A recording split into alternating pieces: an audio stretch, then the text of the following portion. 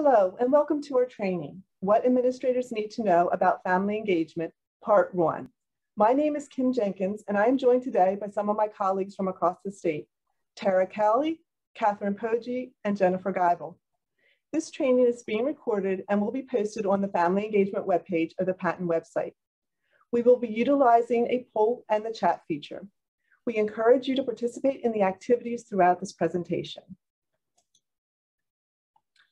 The mission of the Pennsylvania Training and Technical Assistant Network, or PaTTAN, is to support the efforts and initiatives of the Bureau of Special Education and to build the capacity of local educational agencies to serve students who receive special education services. Here you see PaTTAN's commitment to the least restrictive environment.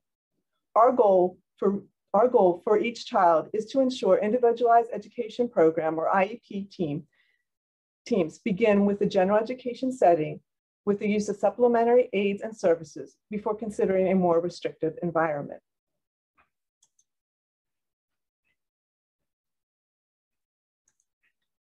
You might ask, why is family engagement so important? Family engagement is a component and can be found in each of these documents. They contain examples of the necessity of family engagement within the law and standards for education. The Individual, Individuals with Disabilities Education Act requires improving results for students with disabilities. IDEA, IDEA also requires all states to develop a state performance plan, or SPP. SPP Indicator 8 measures the percentage of parents with a child receiving special education services who report that schools facilitated parent involvement as a means of improving services and results for children with disabilities. ESSA is a plan in Pennsylvania designed for annual meaning di differentiation through a nationally recognized stakeholder engagement effort that includes educators, parents and families, and policy and community leaders. Pennsylvania's accountability system and school progress reporting will provide educators, parents and families, and other stakeholders with clear and meaningful reporting on both school and student group performances, as well as the ability to identify and act upon act on opportunity gaps. The Danielson framework, specifically domain four, professional responsibilities, component C, focuses on communication with families. In order for teachers to demonstrate competence in this area, proactive, frequent, appropriate, and two-way communication with families is paramount in uh, addition to sharing information about the instructional program and student progress so that families can share in the learning process. Pennsylvania's system for principal effectiveness, domain four, professional and community leadership, component 4A, focuses, focuses on maximizing parent and community involvement and outreach. The school leader designs structures and processes which result in parent and community engagement, support, and ownership for the school. Here you see an example. Um, this, is the ESSA parent guide. And um, ESSA, again, was signed into law by President Obama in December of 2015 and governs the United States in K-12 public education and policy. Um, this guide from the US Department of Education helps parents understand ESSA. Some of the ESSA mandates you will read about in this document include the requirement for every state to develop challenging academic standards, an accountability system for all public schools to improve student achievement and support systems to assist schools in reaching that goal. ESSA also requires states to obtain input from parents and families as they create state plans.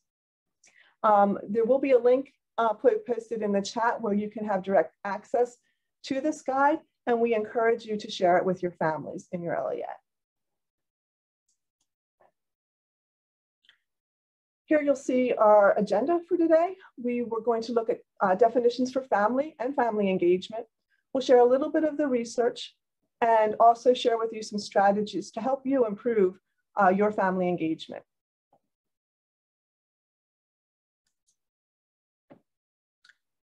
Right now, I would like you uh, to just take a minute and if you can, type in the chat a brief definition of what you consider a definition for family.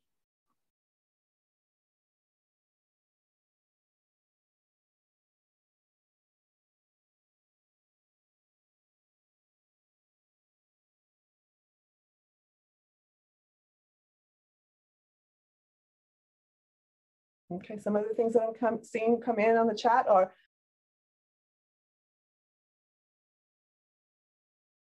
the unit that provides support, the unit that supports and cares for a student, good. A unit that supports and cares for students, again, the support, um, support members for a student. Anyone that comes together based on bond in the educational setting or someone raising a child. And this, the chat is just exploding. There are so many, um, I'm not able to, to get read all of them, but um, another one is people in the household who support a child's well-being, yes. A unit living together, absolutely. Um, extended support system, mm -hmm. a group of people loving each other and doing life together. I like that.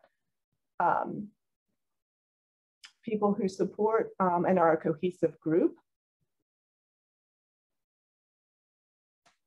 A family is any person who cares for a student, right? And there are so many more. Thank you so much for entering things into the chat. Um, another one, the group of people that provides the basic needs of a student.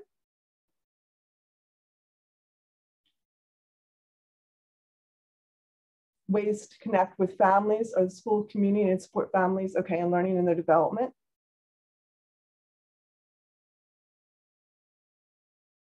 A parent and the child living together as a unit. Thank you. There, I appreciate everyone's response. There are far more, many in the chat than I'm able to get to right now. But I like that. There are many things to think about when you think about a family and many types of family to think about. Um, and I hope that you will, you know, take um, all of these things into consideration when we um, talk about the types of different families and the families that are represented in your LEA. Okay, here on this, this information was provided um, on the Love to Know uh, website. And I thought they did a nice job des describing all these different types of families. Some that um, I know many of these are listed in the chat, but maybe some other ones that you haven't considered.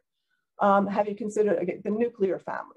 Um, includes the parents and their children living in the same residence or sharing the, and they share the closest bonds.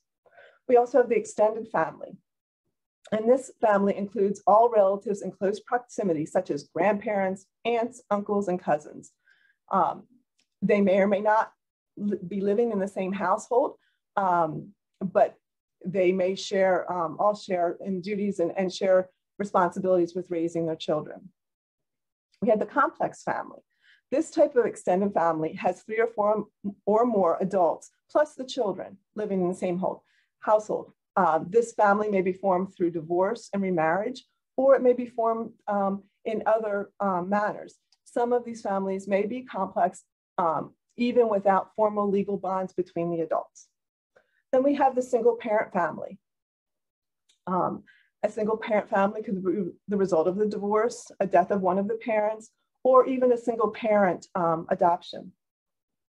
Step family is a family where the adults have divorced and remarried, bringing children from other unions together to form a new, a new nuclear family. The children may come from several different parents um, or be on one or both sides of the new union. And we have a traditional family, as defined in the classic sense as the father and the mother and the children um, in the, within the family. And this definition of family um, is, is not as common. I mean, many, many years ago, um, traditional families were considered the norm. And in this day and age, um, traditional families are less of uh, the norm. There's because there are so many different types of families, um, different families that may be living within your community. And then we also have the adopted family. Um, this family shares legal bonds, but not genetic uh, bonds to the genetic, um, you know, bonds to their children.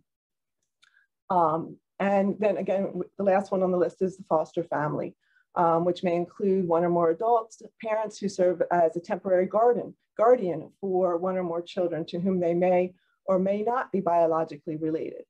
So as you think about the families in your um, LEA and in your community, please remember that there are many different types of families that might exist and they all bring a variety of different things to the table and they all want to um, the best for their children. Okay, multiple roles families play in building learning pathways. This comes from, this graphic comes from the Global Family Research Project. Um, and just as there are many different types of families, there are also so many different types of roles that families play in their child's education. Some may be very involved and others may not be able to be quite as involved. Um, if we look at this graphic, um, some of the things included in here are uh, parents that might be partners with the educators and working um, with the parents may be working with the educators to fully implement what's going on in the classroom and to share that between home and school. Um, parents may be teaching, teaching their, their children um, not only what's happening in the classroom, but also teaching other things um, to the families. Parents are co-learners. They are learning along with their children and beside their children sometimes um, and helping to support them. They're advocates for their children. They're decision makers and may analyze data and things that information that they receive back from the schools. They are definitely negotiators with their students and it, possibly with their um, with their, their education staff, the school staff. They volunteer. They may be networkers and community builders. Um, they may be advisors, monitors, or coaches. So these are all different roles that families may um, play when in educating their children. But what can you do to, do to assist your parents to build the learning pathways? We'll, we will talk about strategies a little later in this um, presentation, but you wanna be able to identify parent leaders and ask them about their concerns. You wanna empower parents and develop a working partnership with them. You wanna share your perspectives and your information. You wanna make sure you build trusting relationships and um, really involve them in what, what's going on um, in school, throughout the school. School leaders must commit to ensuring that all families and community, communities build equitable learning pathways for their students. This commitment may demand a shift in mindset from devaluing parents or just not thinking of parents in the same way and, and really valuing now, valuing them and building a trusting relationship with them.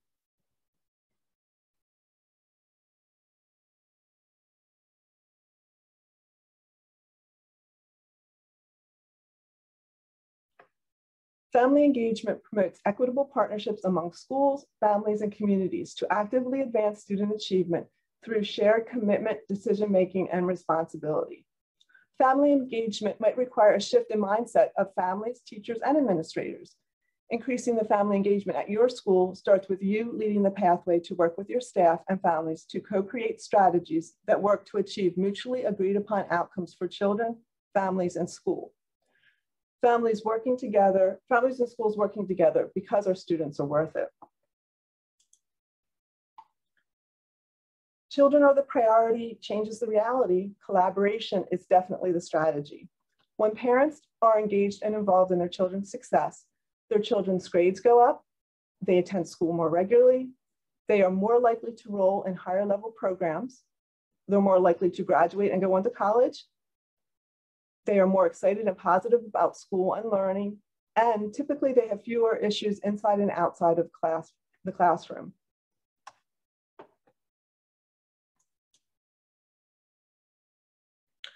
Schools should be exemplars of a welcoming environment. In order to create a welcoming school community, administrators and educators within the school community must embrace several core beliefs of family engagement. First, they must recognize that all families have dreams for their children and want the best for them, even if those dreams may not be what educators themselves might identify as important. They must presume confidence in each family's ability to support learning in the home with the right scaffolding. Administrators and educators must also think of families as stakeholders and equal collaborative partners who, virtual, who vitally contribute to their education, their children's education. Additionally, school staff must be willing to take on um, the oneness of cultivating and sustaining relationships between home, school, and the community. Administrators play a vital role in establishing a culture of welcoming and mutual respect.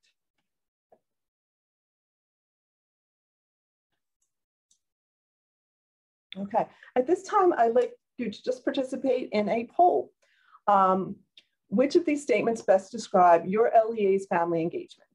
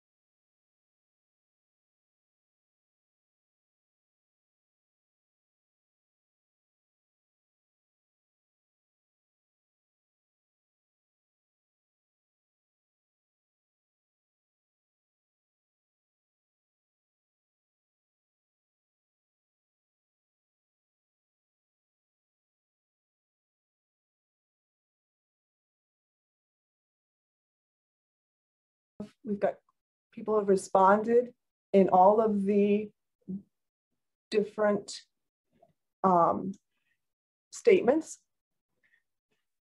So now, next, what we're going to do is take a look at how you've responded, what that what that shows um, relation in relationship to family school partnerships.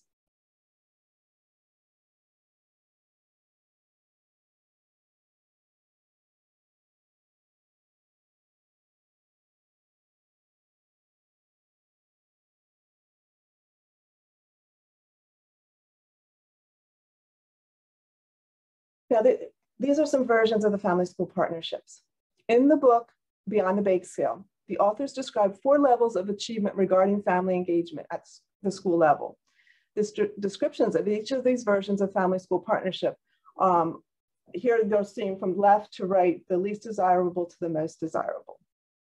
So for those of you who answered, um, your answer was C, that is that statement is exa an example of a fortress school.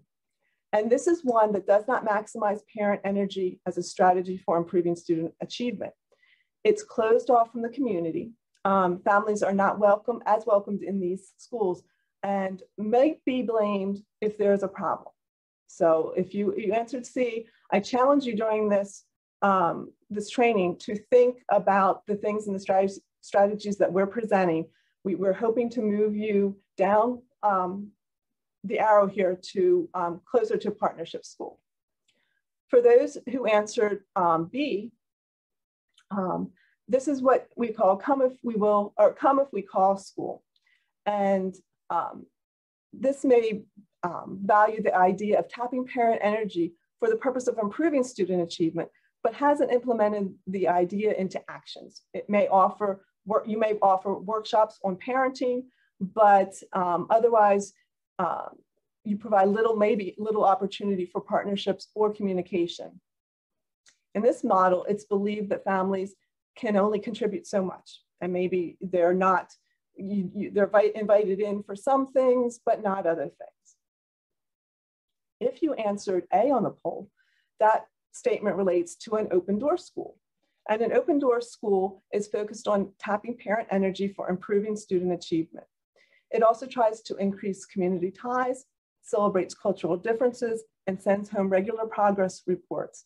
Um, but partnership may be limited and not necessarily equal in, in an open door school.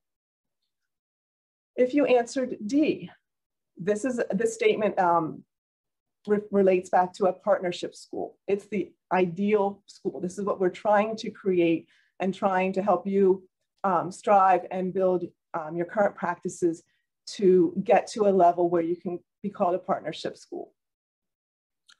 Um, it, a, a, partnership school um, consciously and conscientiously taps parent energy for improving student achievement. Families are included in every way possible and are celebrated for what they, for what they have to offer. Some questions you might ask yourself.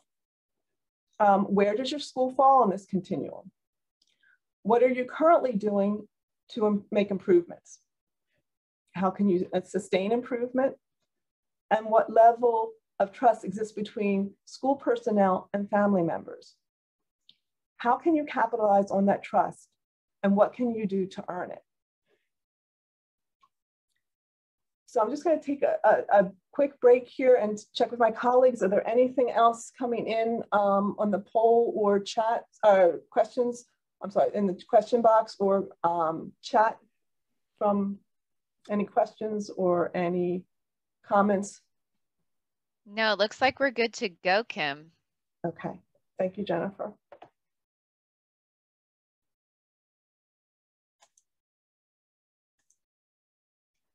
Okay.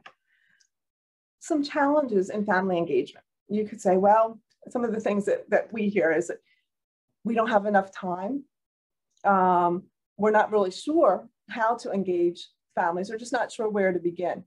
Um, there are many, many different types of challenges, and, and these are just, just a few represented here. I'm going to ask you if you can, the, right now, post in the chat. Um, what are some challenges that you personally your, and your LEA are facing related to uh, family engagement? Okay, right away, COVID. Yes, I see that. There are language barriers.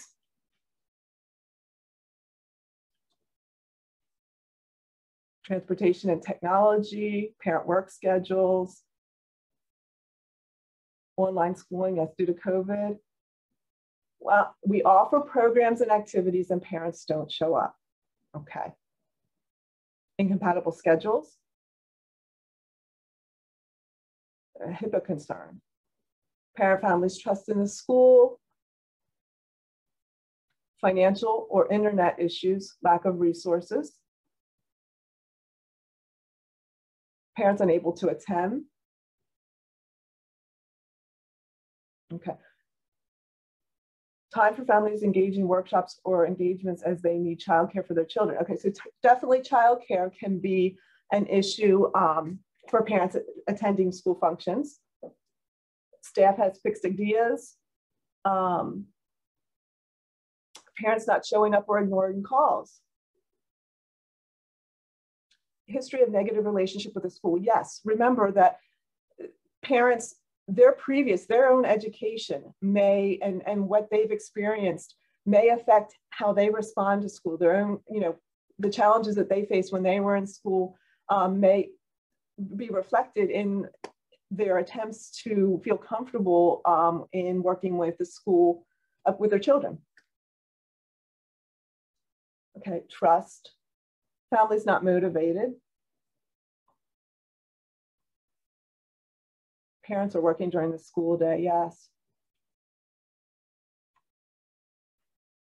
These are all, yeah, thank you for your responses um, to your challenges.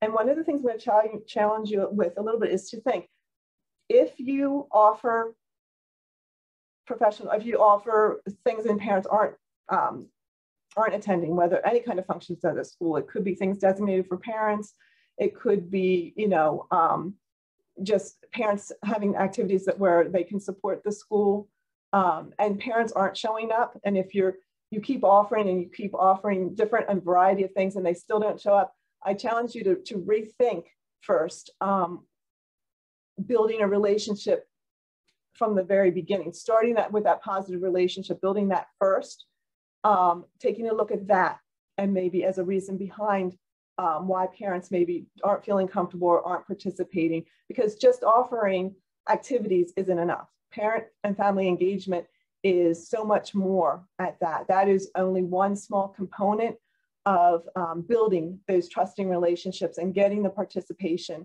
of families. Again, because all parents want their, um, their children to do well in school. So, um, you know, building relationships in addition to offering all these, the activities that you offer them is as a key component of increasing your family engagement. Um, seeing also custody issues. Yes, I, I can imagine that that is, is, is, a very difficult, can be a very difficult issue and barrier for um, family engagement. Okay, um, now I'm hoping, again, thank you for everyone who's posted in the chat. Um, I'm hoping that we will be able to share some strategies with you and a little bit that will help you um, build your family engagement. This next section that we're going to look at now is just to give you a little bit more behind um, the research, what the research is telling us about family engagement. So with that, um, I am turning the presentation over to uh, Catherine Poggi. Thank you so much, Kim. And if you're comfortable with still advancing the slides, that would be fantastic. I loved that the comments that were shared in the chat really align with the research that we're going to be talking through. And this very first slide that Kim's going to project connects to valuing all students and their families. And with that, I, it was the notion of respect that was most highlighted there is a book and there's a saying that goes with a book that fair is not equal. And that book is The Red Pyramid by Rick Riordan. And he really poignantly states that fairness does not always mean that everyone gets the same. Fairness means everyone gets what they need, indicating that it is detrimental to treat all children you know, with the same mind's eye that we're meeting them where they are. And we need to make sure that we're looking at everyone from a different perspective and a different background and meeting them exactly where they need to be supported.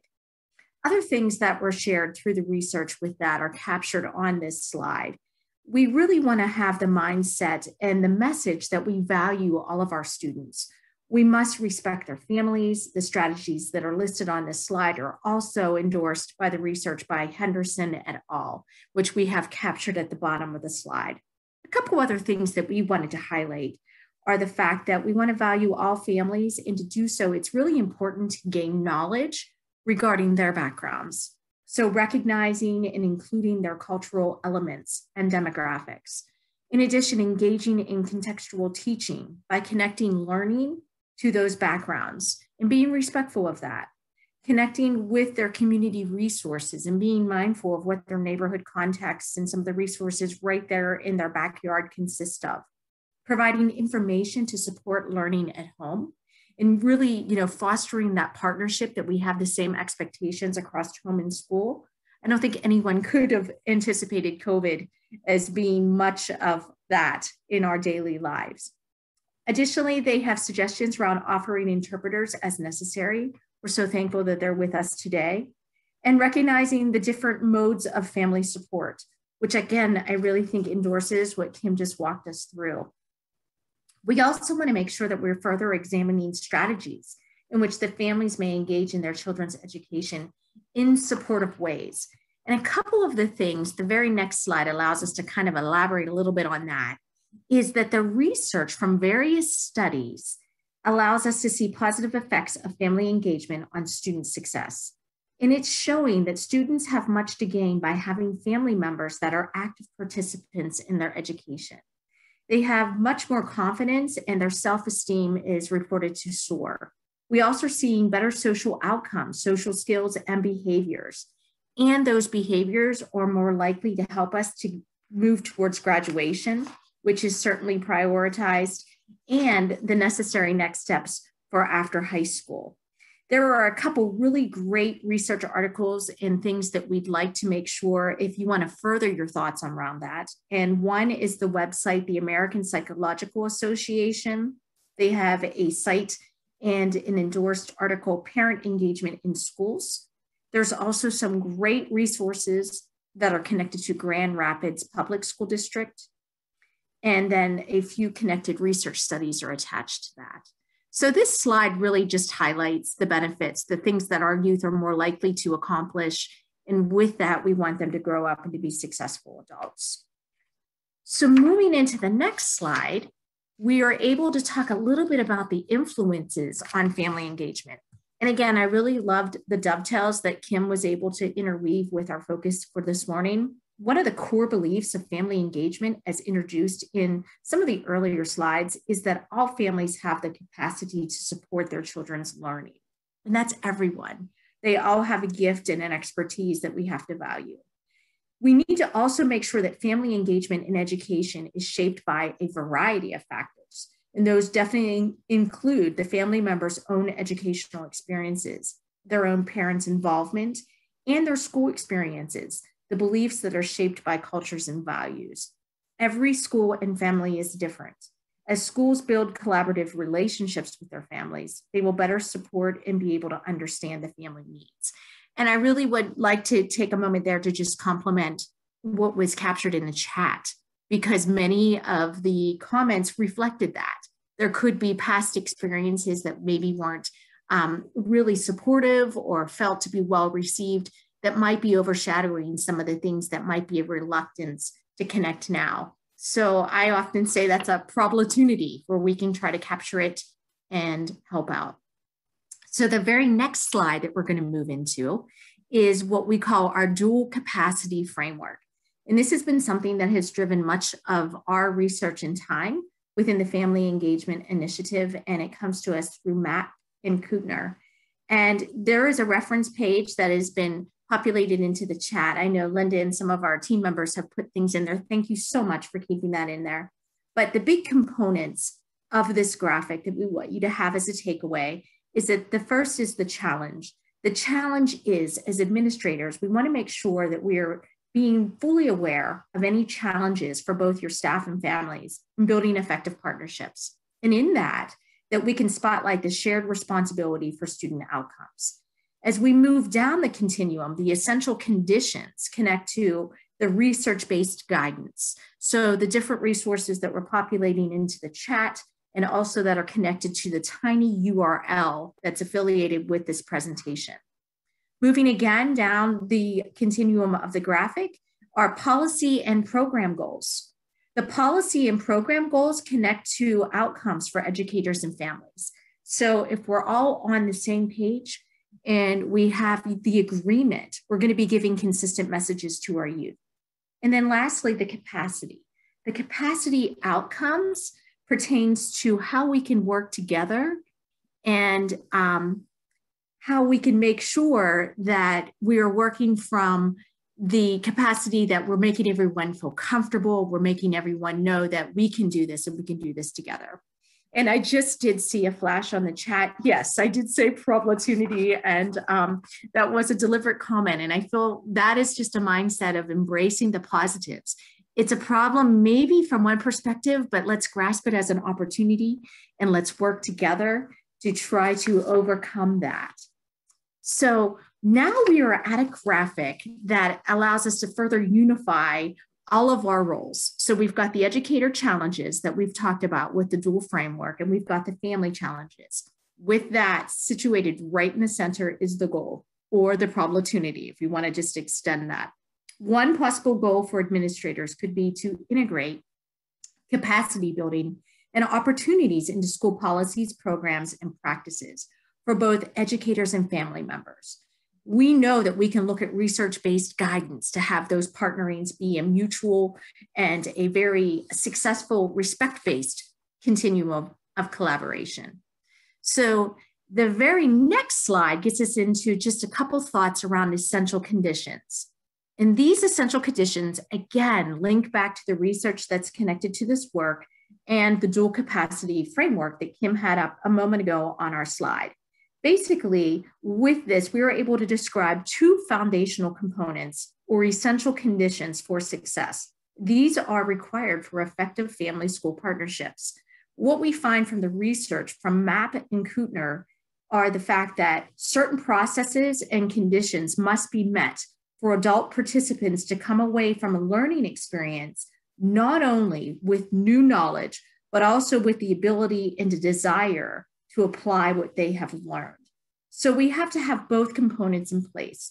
We also find that research also suggests important organizational conditions that may be met to sustain and scale these opportunities up. The two essential categories connect to processes that allow us to have a series of actions and procedures that allow families to take action with our schools. So the processes and the relational steps are built on mutual trust. When you really peel all the layers back, we want everyone to be on the same page. We know that we are in a safe place and we can work together to have that common goal. In addition, as we look at the, the graphic that Kim has on our screen right now, we want to make sure too that we are linking things to the learning environment. Everything is purposeful, and we understand that it is going to allow us to be able to work through things together. In addition, we want to make sure that they are asset based. So, strength based, asset based, and it makes sense.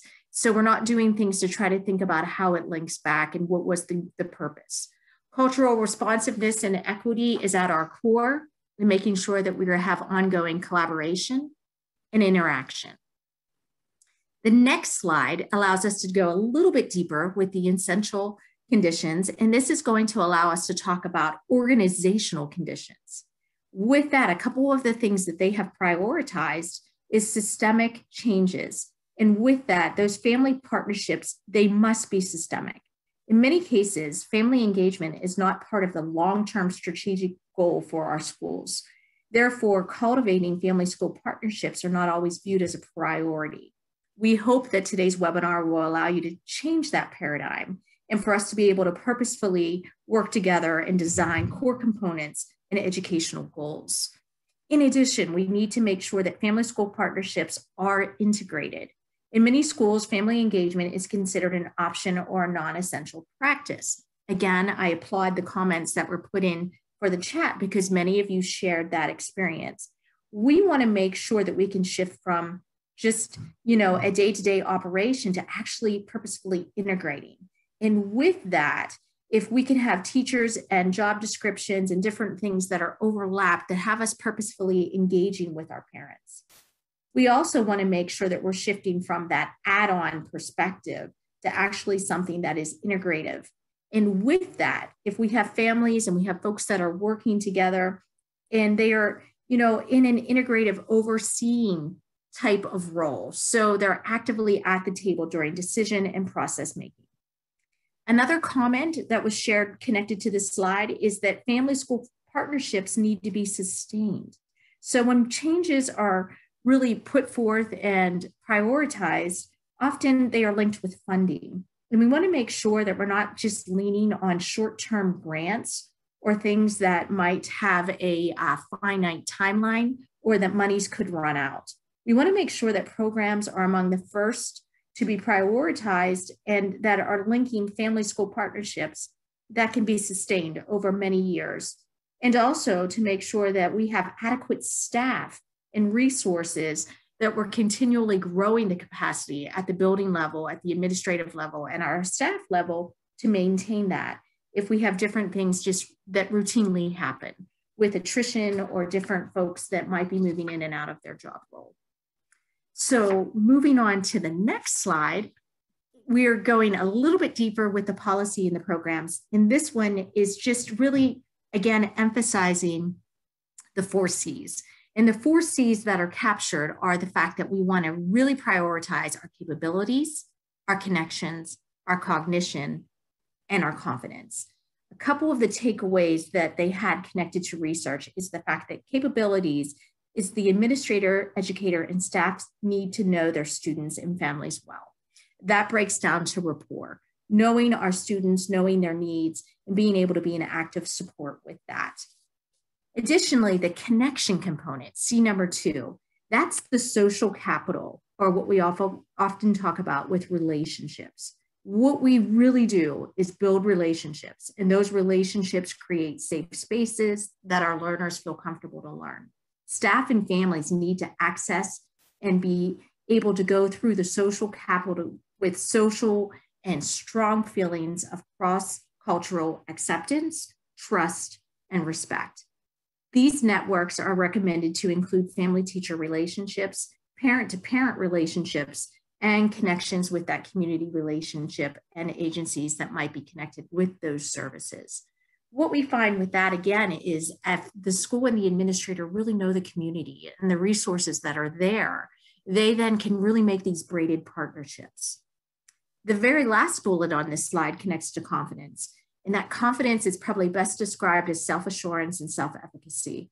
We want to make sure that family school partnerships that are built around confidence allow them to work through things that maybe in the past felt less secure, or maybe things that um, if a child had an academic need, that now we can respect that perspective and we can understand that both the educators and the family members are working together to build self assurance, to build self efficacy, and to build the necessary relationships to help that student be able to have success.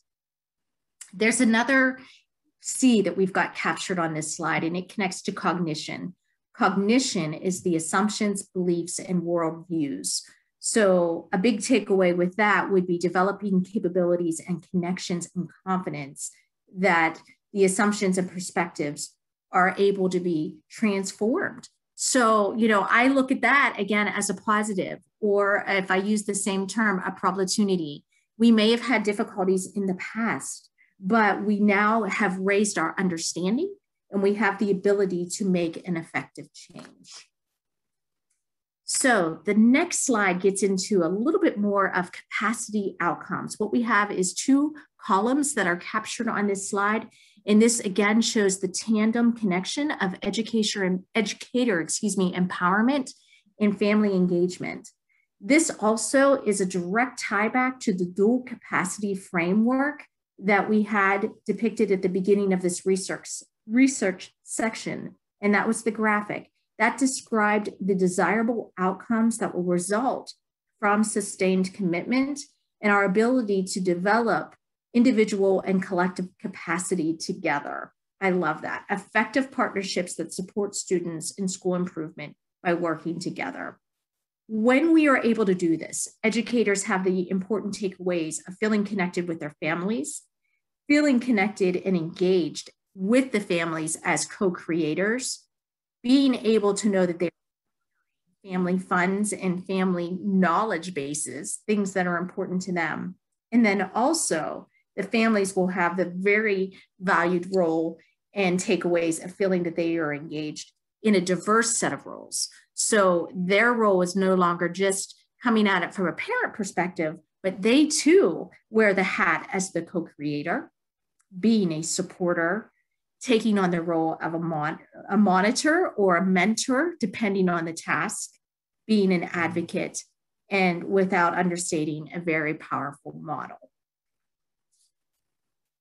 The next slide gets into a couple of the benefits. And again, you know, so often when we work through content, we think about what's in it for me? Why do we do this? What would be ways that we could best support? And the teacher benefit takeaways are captured here. We want to make sure that all parties are feeling included.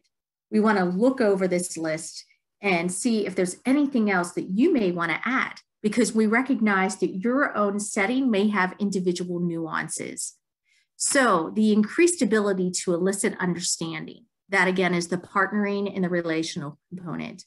The increased diversity and use of communication with families. This, I believe, would be a capacity building that we are growing our own skills, our own skill set, excuse me, of understanding our stakeholders. The awareness and ability to communicate clearly. So having respectful norms, having different things that we can work together to make sure that we're being supportive of each other and lastly, but never the least, increasing appreciation and making sure that we have that network component in place. Now, the very next slide, as you would indicate and expect, would be benefits for our family students. And this is just as equally important. So with that, we wanna make sure that we are increasing the perception of school quality and just that acceptance component. I, I personally love it when I walk into buildings and I see the posters, you are welcomed here. We're so glad you're here. So having that be a purposeful message, making sure that we can ease the interactions and communications with schools and teachers. That I think connects back to the earlier slide where we have parents that are operating as mentors and models, sometimes even really powerful liaisons to build those relationships. The students, we want to spotlight our youth at all times. So making sure that we have awareness of their progress in subjects and skills, knowing any actions that may be needed to maintain or improve their grades, and making sure that we can work through those communication steps to remedy any needs at the earliest point. And that, I believe, is the conclusion of that section connected to the research that's behind our dual framework in the research in families.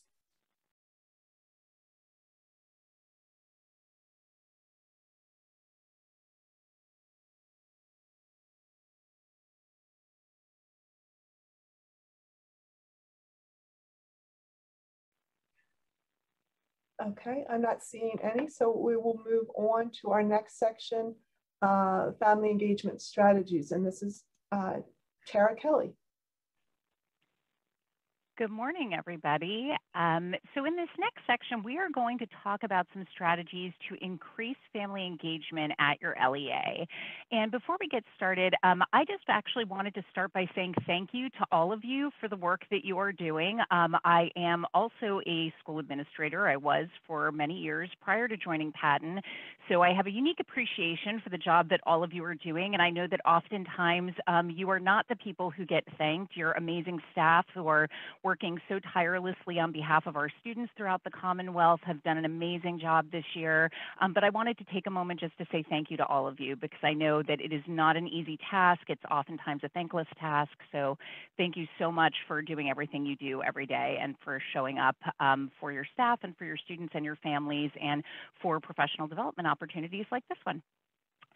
So we're going to get started um, today with a quote from our sixth president. And um, if your actions inspire others to dream more, learn more, do more, and become more, then you are a leader. And that was from President John Quincy Adams. And I think really that's our goal, right? Every day when we come to work is to try and do that for all of the lives that we touch as school administrators. So on this next slide, we're going to ask you to take a moment to think about what have you as an administrator done to promote partnerships with families within your LEAs? And we're going to drop the link to a Google document into the chat. So if you'd like to access that and um, take a moment to contribute some of your thoughts, um, that would be great.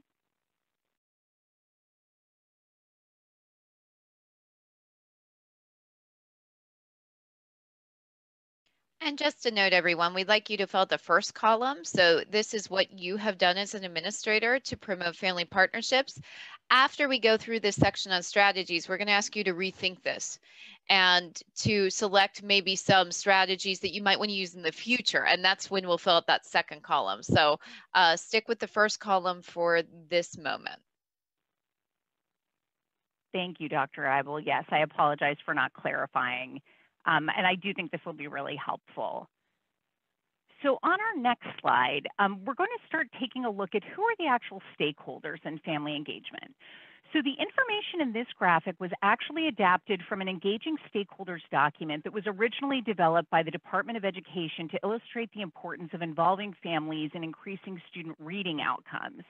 However, we felt that it does a really nice job of breaking down the stakeholders of family engagement in general into their constituent groups. And then it describes what's at stake for each in having families centrally involved in their child's education. So as you'll see at the top of the pyramid, of course, are the students, right? Having their families involved in their education increases their likelihood of success throughout school as well as their future opportunities. Then, as we know, after the students themselves, families are the next primary stakeholders in their child's education. Being centrally involved allows them to have input into their child's school community, support their success, and increase opportunities for their child both throughout their education and into the future. Then for teachers, paraprofessionals, related service providers, and other school staff, partnering with families allows them to increase their professional efficacy, better tailor their instruction and service to their students' needs, and enjoy a better sense of collaboration and job satisfaction. So as administrators, we know that we stand to gain so much from making family engagement a priority, right? In addition to enhanced collaboration between school and home, resulting in increased outcomes for our students, we also have the opportunity to develop authentic relationships and partnerships with families, and they really have so much to contribute to enrich our school's culture and community. This can allow all of our stakeholders to have a sense of ownership and pride in what's being created and achieved by our students. At our district and LEA level, family engagement provides increased accountability and opportunity for positive media relations and alignment with mission and vision in many instances.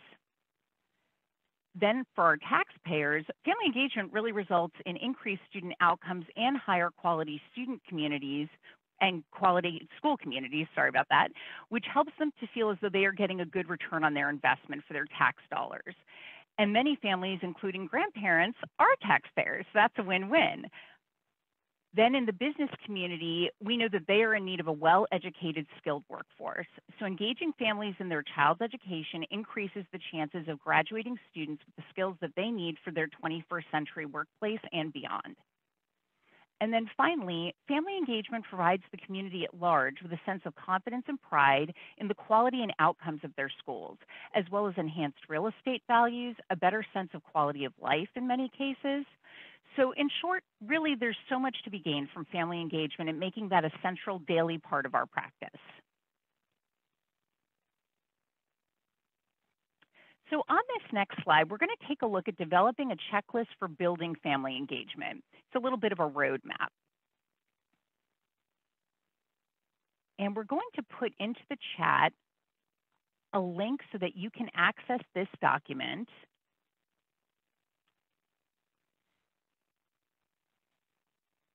And what is the first step that you can do as an administrator to increase effective family engagement or partnering in your LEA? So you might want to consider something like this.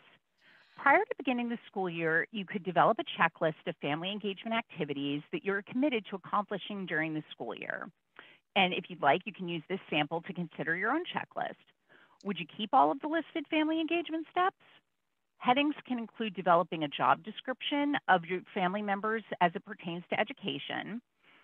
So working with the families every year to develop a school family compact, clarifying how families can promote learning at home and in school, clearly identifying how school staff will support families, you know, really having those expectations really clearly laid out is very important. Building a buddy system to pair experienced family members with newer arrivals to the school community. Inviting families from different cultures to share their values and traditions.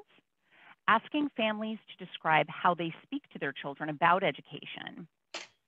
Listing ways that families can promote education in the school handbook and on the district website and sharing information regarding the role of family members during open houses, virtual tours, and other events. Another header could be building family confidence in their ability to help their children. Really, we want all of these things to become positive self-fulfilling prophecies, right? So offering workshops in a variety of ways, both live and online, to build family skills, providing materials and information in a variety of ways, sending home learning packets, educational games, and links to virtual videos and learning games, inviting families to observe in the classrooms so they can see how lessons are taught, asking families for information about their child's strengths and how they learn, and engaging family members in discussion at parent-teacher conferences rather than just presenting the information. And then another section could look at making how we can make sure that all families feel welcome. So consider holding virtual or live home visits to build personal connections, providing information, again, in a variety of ways, both online and on paper, making personal phone calls home to invite families to contribute information or attend events, invite the entire family to meetings and events, holding smaller meetings in neighborhoods and community centers to build that sense of community, surveying families about how they would like to be involved, and researching communication types that are preferred by the family. This is very important. It's going to bear on one of the sections we have later. So would you add other sections to this? Remember that ultimately you should engage families in the decision-making process to decide on a focus for the school year. And we're, again, we're going to have more on that decision-making later.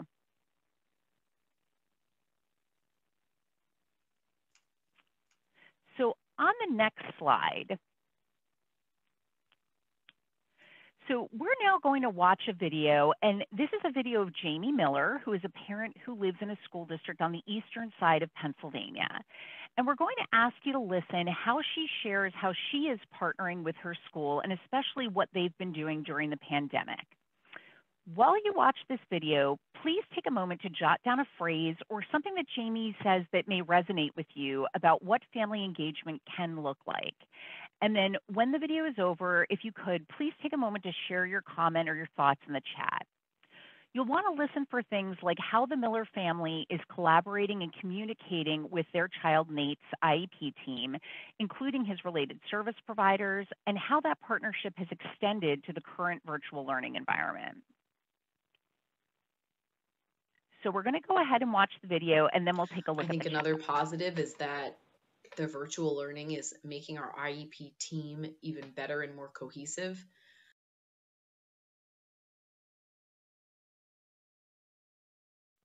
Um, since I'm present with them at school and I'm acting as their hands for Nate, we get to work more closely as a team. Um, and I feel more empowered, more equal on my role in the team. I've always felt like we have a good team and I've always felt comfortable and like you know, a respected partner on the team. But now I really feel like I'm, you know, truly an equal. I feel like I'm one of them. Um, I'm seeing them daily. I'm talking with them daily. The PCA, the special ed teacher, the related services, we're communicating all the time. Um, you know, I'm doing whatever they say. I'm adjusting the camera angles. I'm grabbing whatever book they say or whatever manipulative or piece of equipment and I'm setting things up to their instructions and I'm, you know, doing whatever they say um, so we can give and get constant feedback from each other which has been great um, you know we're problem solving as a team we're troubleshooting together Um, I'm telling them what's working and what's not. I'm able to ask them for help to make it better. I'm giving them suggestions for what might work. Um, and then I feel like we also, as parents, are able to demonstrate our parental expertise of Nate by showing this is what we do at home. Look, this is how I would do this problem with him, and look how he was able to solve it.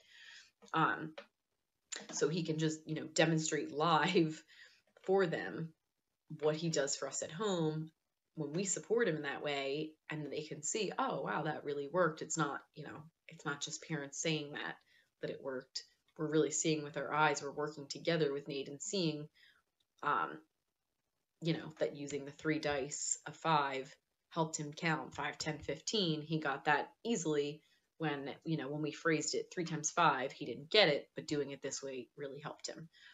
Um so I feel like that's been a great way to help really, um, you know, show that we're experts on our own son and help show them what he can do.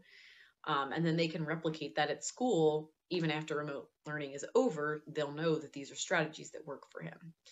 Um, so I feel like we're just increasing our already good rapport that we have on the team, our sense of collaboration and mutual respect, and the shared goals that we have for Nate.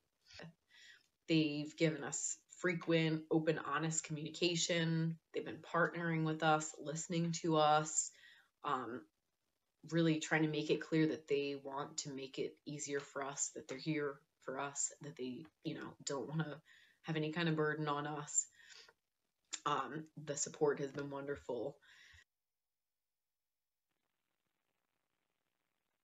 Okay, so if you could take a moment to drop into the chat um, a thought that you had that popped up while you were watching Jamie's video and her description of how she and her family have been partnering with Nate's IEP team uh, to support him during virtual learning and how they've been collaborating and communicating.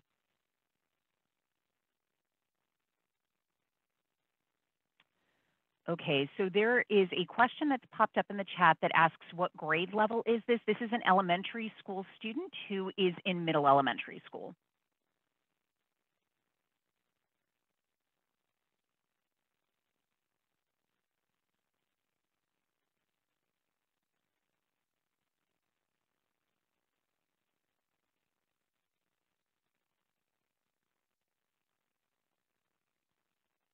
So we're seeing lots of comments, frequent, open, and honest communication. All parents of all backgrounds are indeed experts. Positive parent language among educators is crucial, absolutely. Joy, comfort, and empowerment, constant communication. Keywords that she used were empowered and equals. They are collaborating together and supporting each other equal member of the team speaks volumes. Expert on my own son. Yes, absolutely. These are key, all key terms. And the family has been encouraged to feel that they are part of the education process. Yep, we're seeing lots of key terms here collaboration, communication, empowerment, equality, family expertise. Absolutely. They feel the family feels valued. Absolutely. They feel heard. Yep, these are all words like they were here for us. Respect was the baseline. Wow, these are really great observations, great pieces of feedback. Thank you. Extended family involvement partnership. Yep, absolutely.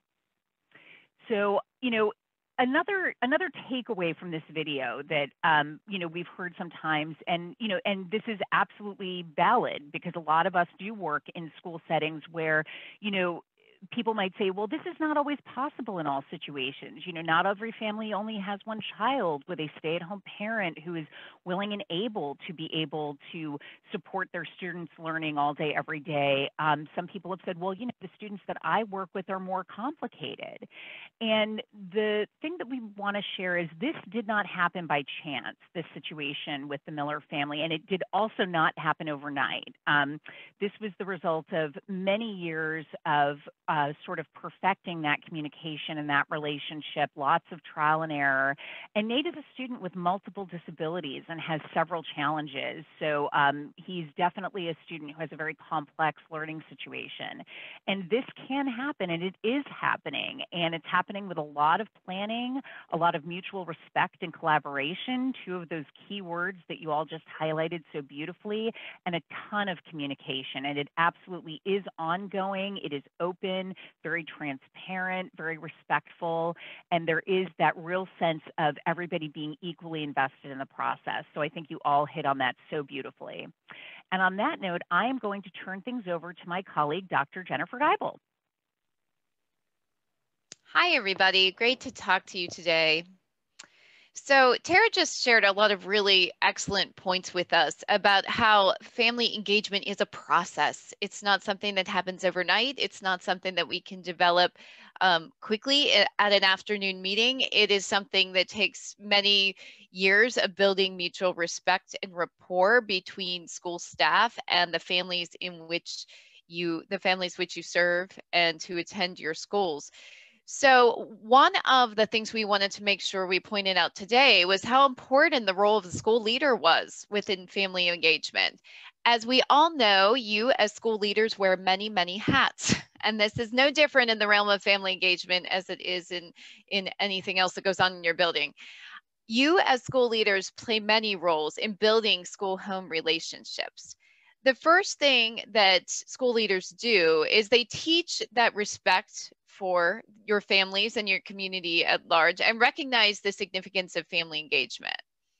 Um, we also need to communicate its importance to others and inspire others to increase their own abilities to engage in respectful and equitable ways.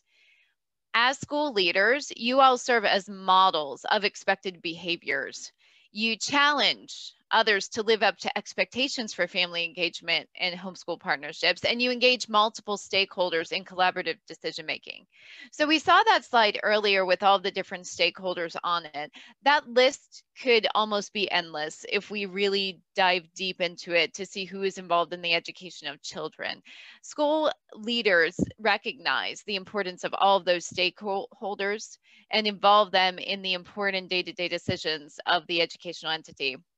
Effective school administrators don't leave these relationships to chance. Again, Tara mentioned how much planning went into developing that relationship between Jamie Miller and her school. We need to initiate relationships. We need to plan and implement systematic and, and pervasive measures to establish successful whole homeschool relationships. So in this section, we're going to talk about how all these roles of the school leader associate with the how to of family engagement. And we're going to give you some functional strategies on how to establish successful family engagement policies and practices. So, one of the most important things we can instill today is that family engagement needs to be proactive. It should never be an afterthought, this building of homeschool relationships.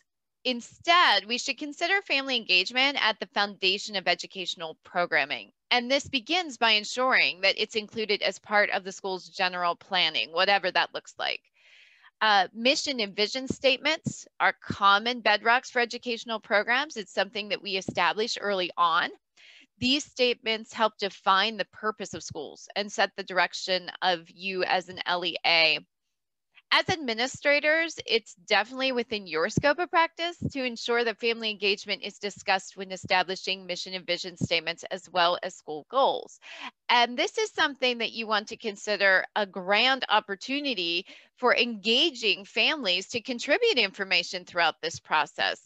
Um, what families can you get on board to provide information about their thoughts as far as mission and vision statements go? And you should consider whether you have participation from a variety of individuals who are representative of your school community. When you have decided on mission and vision statements within your LEA, you need to share them with your families and do that often. It's easy to forget or, or stray off the garden path, if you will, sometimes if you're not reminded of what you're trying to achieve. So emphasize how much you value the school's mission. Instead of just crafting these statements, though that's important, we need to also be strategic in how we inform families of what they are. So, keeping families abreast of mission, vision, belief statements, goals, sharing the progress that's being made towards what you're trying to accomplish. That's really important. We should also reference these elements often in communications in order to increase family awareness and connect family engagement activities to school goals as well. This allows families to be active partners within the school process. Making these connections also promotes the understanding that the school is actively working towards family engagement and that we're addressing the issue via tangible, productive, and practical activities.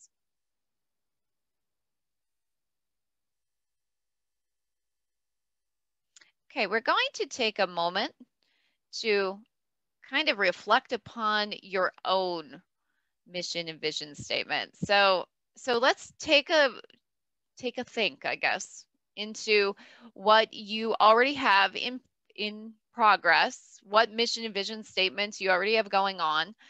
Um, and let's put this in the chat. Is there a reference to families within your mission and vision statements? And what might that be?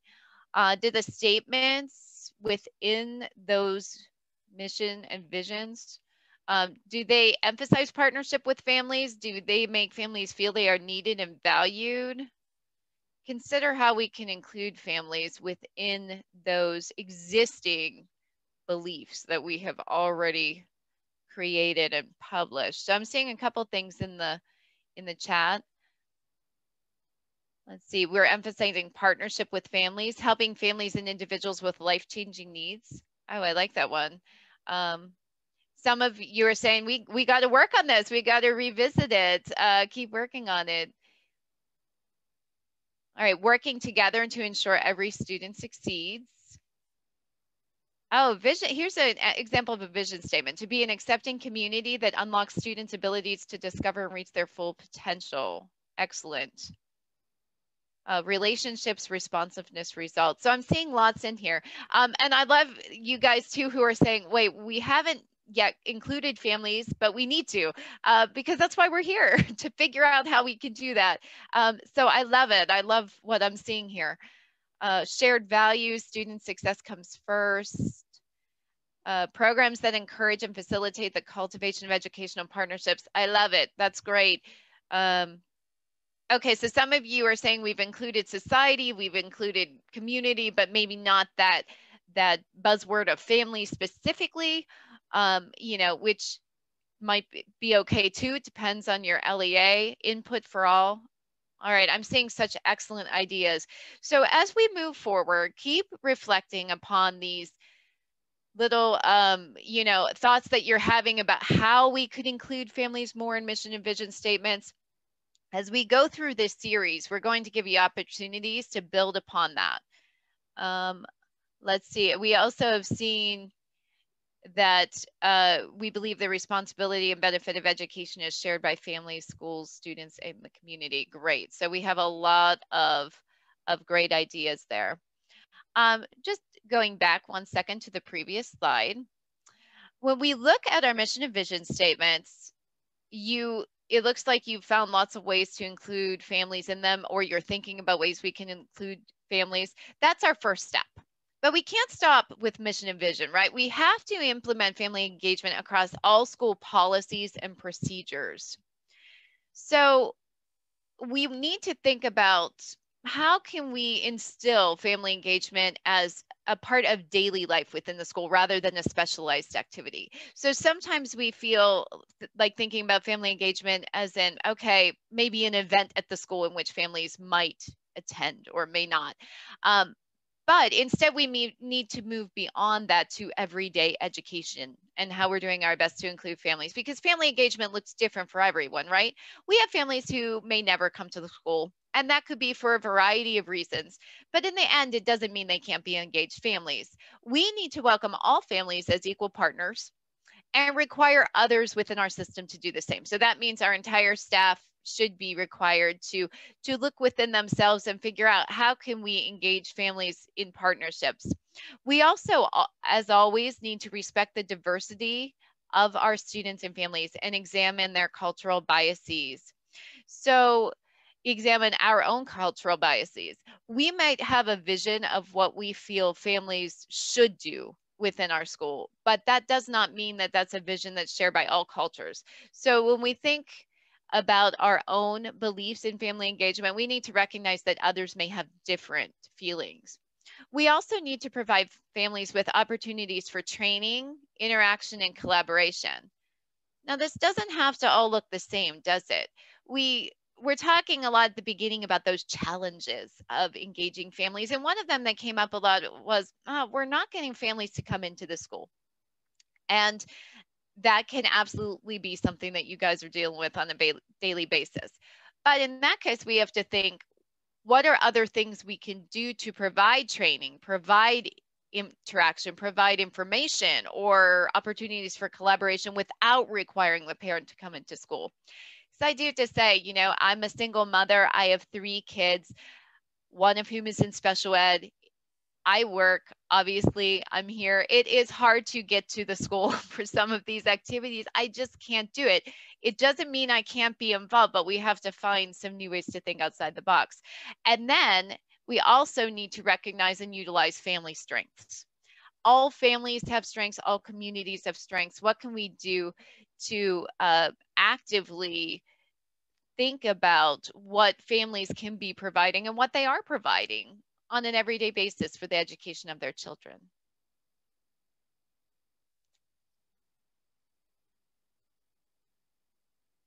All right, when we look into identifying practical strengths, all families, like all students, have strengths. we have to look beyond our own biases to identify them and inspire our staff to do the same. We talk a lot, especially in special education, about the importance of identifying strengths for our children, right? Whenever we're writing an IEP, we make sure that we have listed all the things that the student is doing really great at. And that's very important because we build on those strengths, right? They are a foundation to which we can achieve more. Um, so this might be the most important belief that you can instill within your school families is that families also have strengths in which that maybe in the ways they interact with their children, the ways that they provide uh, support for their children. Um, family engagement is every day, every hour. They are part of all learning experiences at every level of the educational process. And we have to extend that expectation that all families are welcomed and respected as educational partners. Additionally, you might need your staff to reflect upon their own expectations for their families their own cultural biases, their own um, ways, you know, that they believe families should interact, and to encourage them to fully value the diversity within their school populations. Family strength should always be recognized and celebrated, even when, or especially when they are different from our own.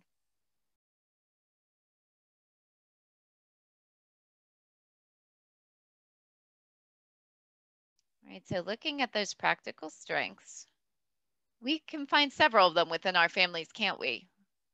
Um, we have families who might have shown resilience and adaptability in the face of challenges. We have families with fantastic social connections, whatever those might be, connected to their churches, to their community centers, to their cultural centers. We have families, all of us, and I feel all families do this that love and appreciate their children. they want their children to succeed, they want them to be able to have a good life. All of our families help and encourage their children they have knowledge of their children. So, what was it that Jamie Miller said? That she is the expert on her son. And isn't that true? Because regardless of the time that we are spending with children, families are spending a lot more time with their kids. So, they are able to provide us with information that we otherwise might not have. Um, we have strengths of communication, the ways they reach out to us, whether they are families that gravitate towards using means like say texting um, or communication via the phone versus families that might be into email. We have families also that their strength is that they demonstrate responsibilities to their child. You know, they follow through on what they're supposed to do, whether that's going to work, working double shifts so they can put food on the table. Um, they are showing their kids how to work hard and be responsible. Families appreciate safety and care for their children, right? They provide those things their kids need, whether it is medical care, hugs, whatever might that might be. And then also time together as a family is also a great strength.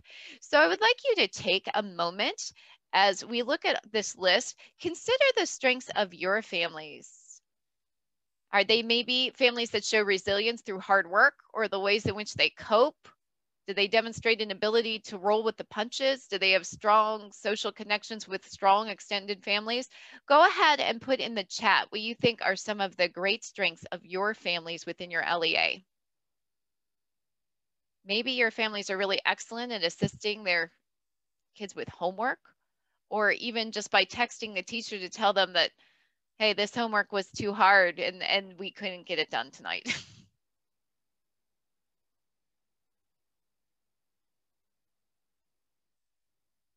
Ah, okay. So we're getting some some con contributions to the chat. Our families are strong communicators. They support their students' special education goals. They're appreciative, resilient, safety and care communication. They know their child the best and relay this to the school team for collaboration. Social connections, knowledge of child. They make sacrifices for their children. Time, finances. That's an excellent one. Hardworking, strong advocates. Uh, resourcefulness and solving problems, love that one. Active participation along with student for live and guided virtual lessons, excellent. Uh, communication is always a great one. Social connections, time together, love and appreciation. And we had um, someone else say, I like that one, make sacrifices for their children. I love that too, because all of our families do that. Um, oh, families who are really good about talking to their kids about their daily work. What a great one that is. Way to engage families directly in academics. That's fantastic. Okay, excellent. Um, holding their children accountable. I like that one. And diversity. Great. We should always find strength through our diversity. Excellent. Thank you so much.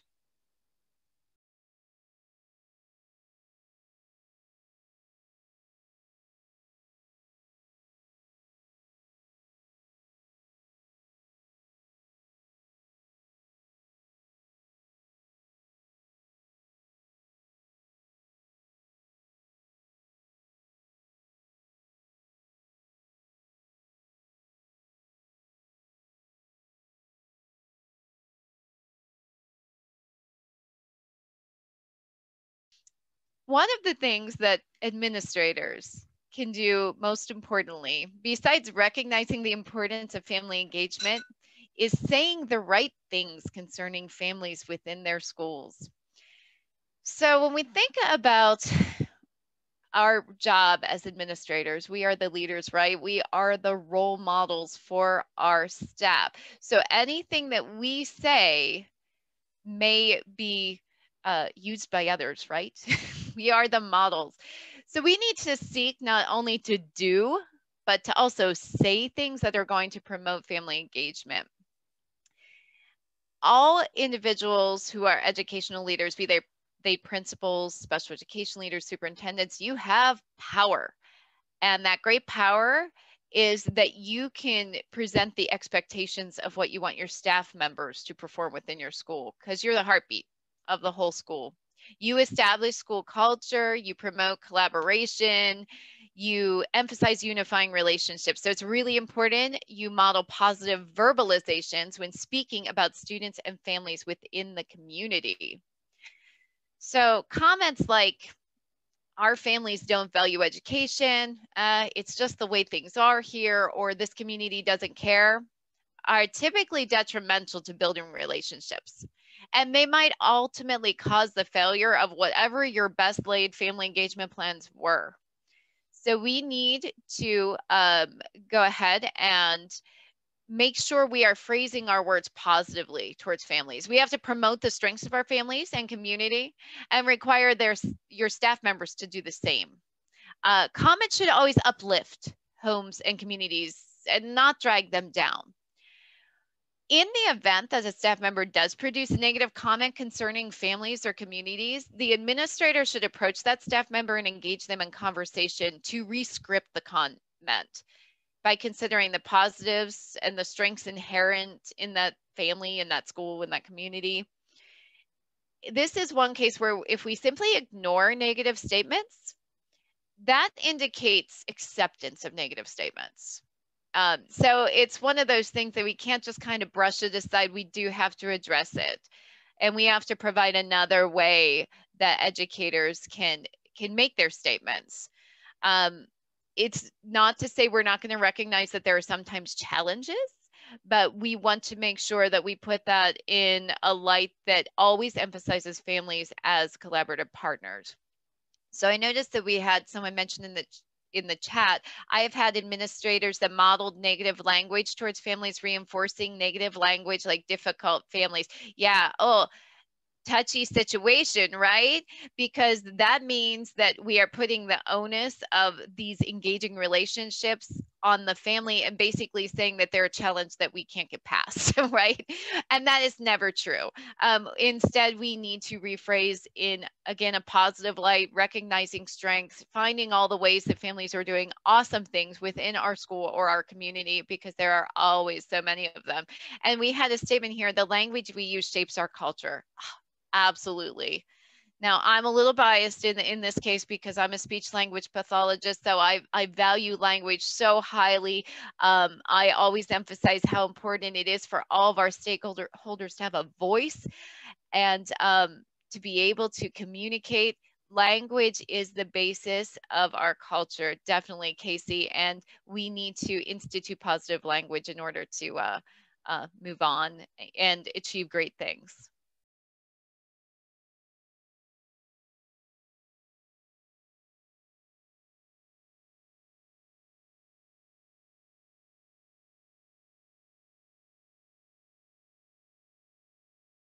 Building trust with families. So let's say you have gone through these previous steps we've talked about. You've included families in mission and vision statements. Um, you have built a culture in which staff members know they must value all families. They have to use positive verbal, verbalizations with families. And now we need to build trust with families themselves. Everybody benefits when homeschool relationships are built on trust. And unfortunately, we see within our own work at the state level that families do not always have trust in school. And this could be because of perhaps experiences they've had before in their own education, experiences that their own children have had within the school. And it is hard to get trust back once it's lost, but it's not impossible. As school leaders, we need to embrace and model the belief that relationships are built on trust by being welcoming and genuine with students and their families. Being actively welcome might manifest itself in different ways. It could be as simple as just letting families know that they are welcome in the school building and greeting them when they arrive. Now, this is hard, right? Because many of us have security and metal detectors, and, and it's all for good reason, isn't it? To keep our children safe but having that welcoming attitude our way is one way that we can show that parents are are not only recognized as being able to come into the school but as are recognized as partners. We can also do strategies like ensure that all signage is written in all the languages of your school or even opening up a family resource center to say this is a place where families can always come and can always receive something that they need we can also gain the trust of the school by highlighting school successes, right? It's easy to talk about things that bother us, but what about the things that are going great? you know, families can't be expected to place trust in the schools when they don't know what's going on there, especially when they don't know what's happening positively. Identify ways to communicate with families about both student level and school wide accomplishments Sing the praises of your students at school board meetings, on local TV and radio if you have access to that, on social media pages. That's huge right now. And promote that message that your students, families, and your communities are special and unique because they all are. Demonstrate how much you care for your students and their families, even in the small things like learning a few words in the family's first language. That makes a huge difference. And ensure the families that they know who to talk to and how to get the help that they needed. So it shouldn't be a situation if a family wants to talk to you, let's not try to pass the buck to somebody else. Um, you know how when you call into a company and you get transferred to a million different extensions oh frustrating right we need to do the same with families provide them with the person that really can help them we also need to uh, look at again we've talked about this before look at our own cultural biases in order to successfully respect the culture of others. So if we want our families to know we care we have to show that we respect them. Be open and honest with your families. Don't ignore or dodge issues but instead talk about them and let families know that their opinions their cultural um, expectations they're welcome within the school we also need to know our communities that our schools are located in. So not all of us live in the communities where we teach or where we lead as school administrators, but we still need to be involved in that community. Strategies like home visits, community walks, and community mapping can increase what you know about your students and where they live being aware of community organizations is so is so important whether that's religious and cultural centers sporting organizations. I know where i live the soccer association is really really important. Um, so the school is able to give uh, space for the soccer association. That's a great relationship they have. Volunteer organizations and any other important organizations within your community your knowledge of them increases your ability to connect with the stakeholders that you serve School administrators also can build bridges when they make themselves available to attend community events, even when they're not school events, right? So to be able to get out there and, and let people see you, kind of the boots on the ground type of activity in which you can get to know your stakeholders. And then we can also hold school events in community locations. And that was something I saw as I perused our list at the beginning. Remember, we had you write down things you're already doing to promote family engagement. And, and we saw that. A couple of you said, we're going out into the community. We're going into community centers. We're meeting in the park because we know our families can't get to the school. Um, how great is that? You are already doing a lot of these strategies. So we're going to see how those move forward um, as we continue on with this session. Oh, we also see, I just had a comment in the chat, we are attending community resource fairs. Fantastic. That is a, great idea. As a administrator, building trust within that school community is paramount. So um, everything that you're doing in order to build these relationships is so important. Um, you might want to, as as you look at this further and as you're figuring out what strategies to use, take some steps to assess the level of trust within the, your school community, maybe by assessing you know, using an assessment tool, holding focus groups with multiple stakeholders, developing committees to think about how to build these relationships um, that's always a great idea. And recognize that building this trust is going to take time, right? It does not happen overnight. Okay, moving forward. Okay, thank you, Dr. Geibel. I'm telling you, she is just a font of knowledge, and I wish she was on my child's team. That's all I have to say.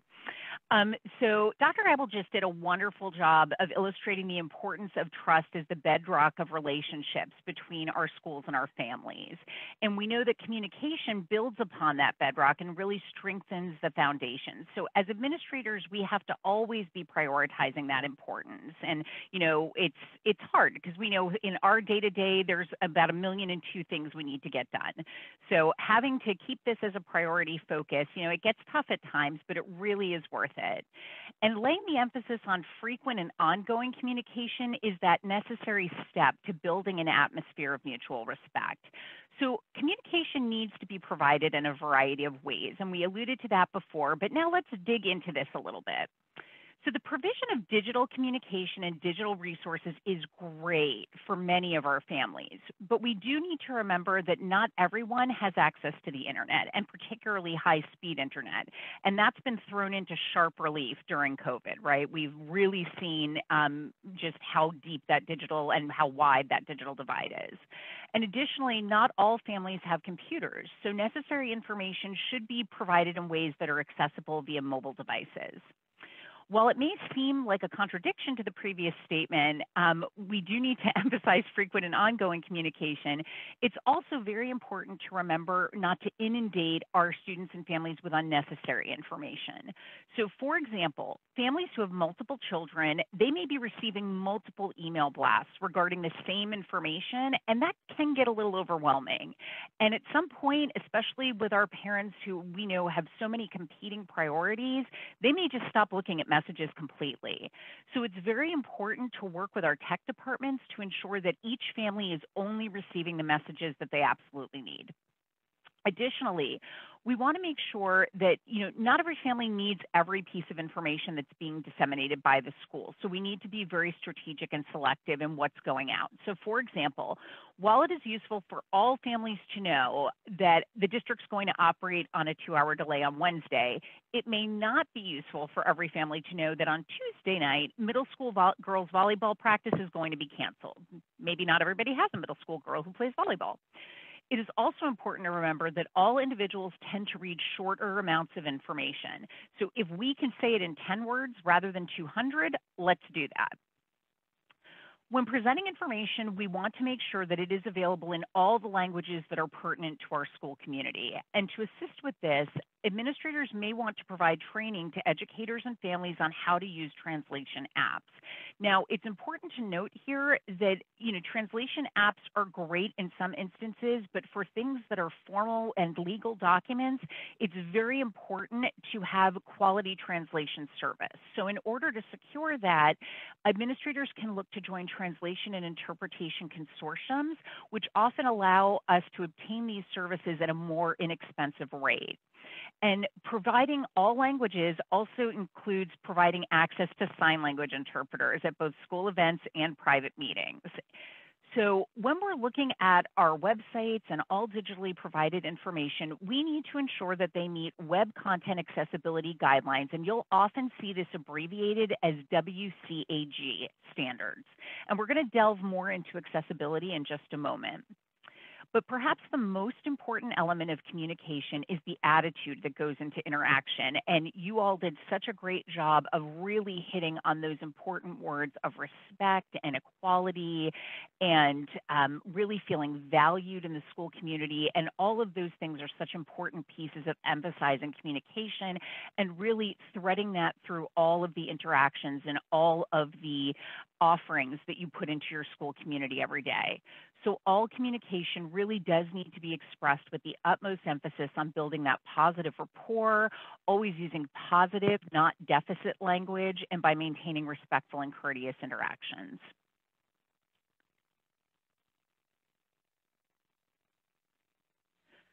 So next, we're going to take a quick look at some of the barriers to successful communication. And of course, there are far more barriers, in fact, than what are listed on this slide.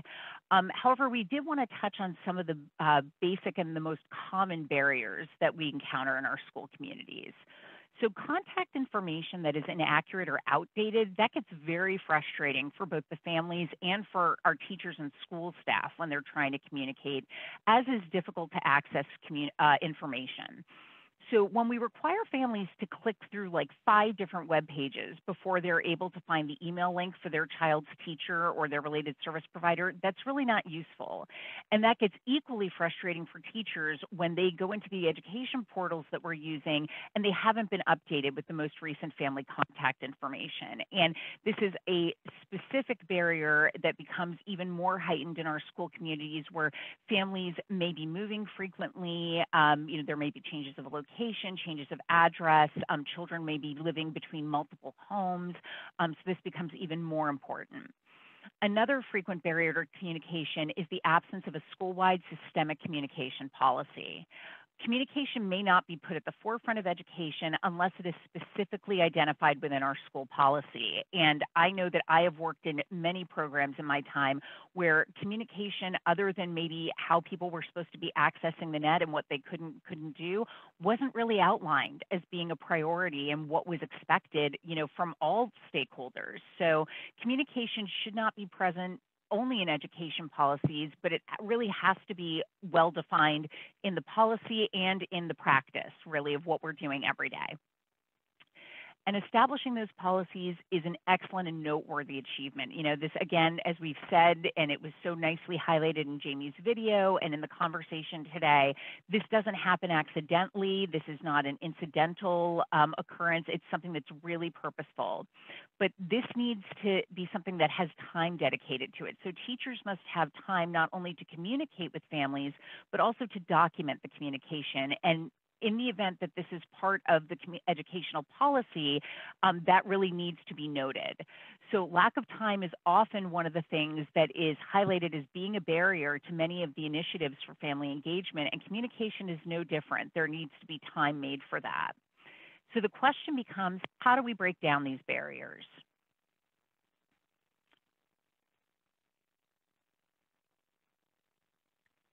So we need to take a more systematic approach to communication. So from an administrator's point of view, establishing effective home to school communication can be one of the most fruitful approaches that we can take to establishing those strong partnerships that we've been talking about. Frequent communication is beneficial to our families because they gain more insight into what's happening with their children's education and they develop confidence as equal educational partners, right? Exactly what Jamie was talking about. And for our educators and our school staff who benefit from the knowledge that they gain about their students' life experiences, it's also beneficial relationships become more collaborative and also from our administrative perspective, much less litigious when we have a positive rapport that's been developed through communication. But again, effective communication is not accidental, it's not haphazard, it's the result of a purposeful and coordinated effort that's consistent over time. It takes this systematic approach to school communication to ensure success, and we begin by frequently connecting with our families and collecting information regarding their communication preferences. We really need to target what's going to work well within our individual school community. So while it's always a good idea to provide information in multiple modes that could include flyers, emails, social media posts, texts, phone calls, even, you know, hard copy letters home, communication surveys should be updated frequently in order to identify changing trends in communication use and what the preference of our school communities are. Families can be asked also about how often they're utilizing district websites and other means of communication. As administrators, we can also be taking steps to ensure that communication information such as phone numbers, email addresses, et cetera, are regularly updated for all of our students so that we know that when teachers and staff go to contact families, that that connection is going to be taking place successfully. Additionally, the district needs to constantly update school-wide information, including staff roles, teachers' phone numbers and emails, contact information for tech support, and other critical information. There is nothing so frustrating as attempting to reach out to your child's teacher and finding that the contact information has changed without your knowledge, right? I know that many of us who have, our parents have had that experience. And a successful administrator puts the policies into place to guarantee that such changes are, are recorded immediately and identify who is responsible for this task. And like any new initiative, establishing communication guidelines is going to require our support. So we can assist our teachers in establishing frequent ongoing communication by providing educators with the time and tools necessary to initiate that communication. And sometimes we can benefit from digital platforms such as Remind, Class Dojo, and others like them. And we really want to consider how these platforms can enhance communication between our homes and schools. We can also recognize that our teachers and our families may require training in order to use these communication platforms. And again, that's going to require time. And we also have to have a plan for how we'll be able to support them learning these new skills. Another significant step to creating this systematic approach to communication is recognizing that not every family will be able to access the same types of communication and to express this belief to school staff. Staff needs to be directed um, that they have to individualize and personalize communication based upon the needs of their students and their individual families. So as we prepare for communication, as we saw expressed on the previous slide and in the video with Jamie, effective communication, again, does not happen accidentally. So as we prepare for the school year, as administrators, we want to survey our families. We want to find out about those preferred communication types. What is their access to technology and the internet? What social media sites do they use most often? We want to take a communication audit of our staff what techniques are they using to communicate with their classroom families? How successful have those attempts been? If we find out that our teachers are having great success, for example, with Class Dojo, then we might want to extend that platform school-wide when we're preparing for communication, we want to emphasize that importance of positive communication, like Dr. Geibel was talking about earlier.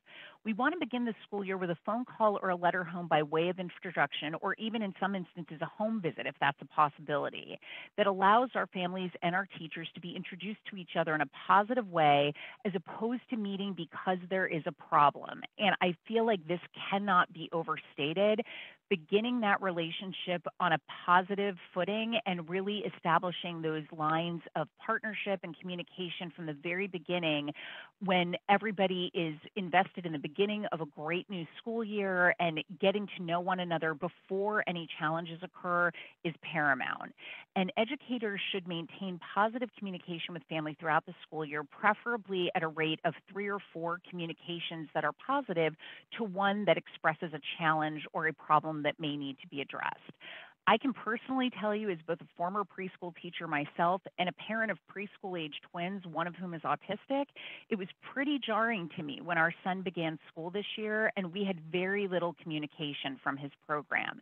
It wasn't what I was used to doing as a teacher or an administrator, and I had to collaborate with our team to establish expectations for communication on all ends so that we knew how we were going to be collaborating and communicating with each other throughout the year. So it really does make a huge difference. As administrators, we can model this behavior by providing positive feedback to staff and students on a regular basis, and we can require teachers to indicate the communication type that they've used to get in touch with families. We may want to instruct our staff that even if a school tends to emphasize a certain communication type, if and our families are different, we need to flex and meet our families where they're at and ensure that we're tailoring our communication to their needs. Some families may be unresponsive to emails, and that's okay. We'll need to reach out to them in other ways. We also need to consider the content of our communication. Most of us, we don't want to receive troubling news like a medical diagnosis in a text, and a parent doesn't want to get a, an important piece of news such as a special education diagnosis in such a format. So really think about what is the need of the family when we're selecting the way in which we're going to be communicating with them. So again, this is a lot of information and it's a lot to do to create a more systematic approach to communication, right? And I would add that as administrators, we also need time to be able to work on this as a program priority. We know that time is the true currency. We can never have enough of it and they're never gonna make any more of it. So this really becomes an opportunity for us to work smarter and strategically. Collaborate with colleagues in different buildings and districts, especially those that mirror the characteristics of your school community. How are they handling communication with their families? What's worked well for them and what hasn't? Sometimes we don't need to reinvent the wheel. Maybe we just need to get a new set of tires, right?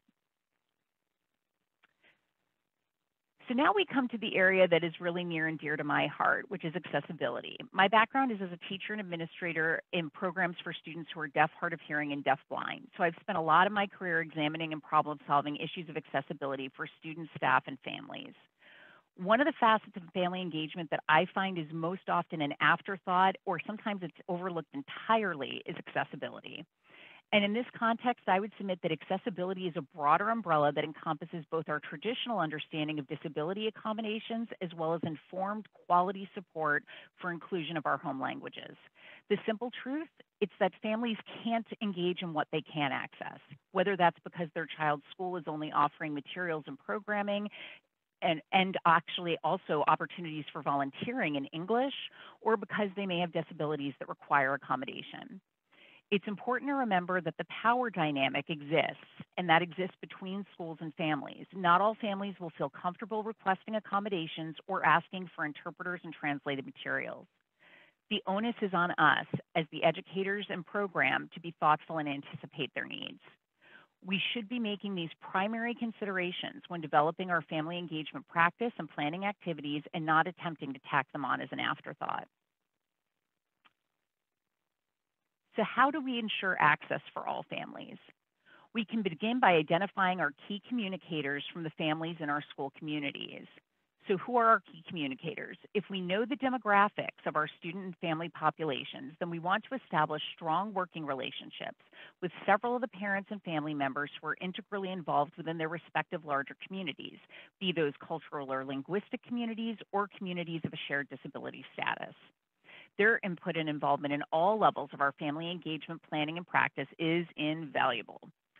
Conducting a needs assessment to determine what is required with regard to access is always a good first step to ensuring that, in addition to approaching materials and programming from a universal design perspective, we are targeting additional supports to meet the needs of families in our school communities.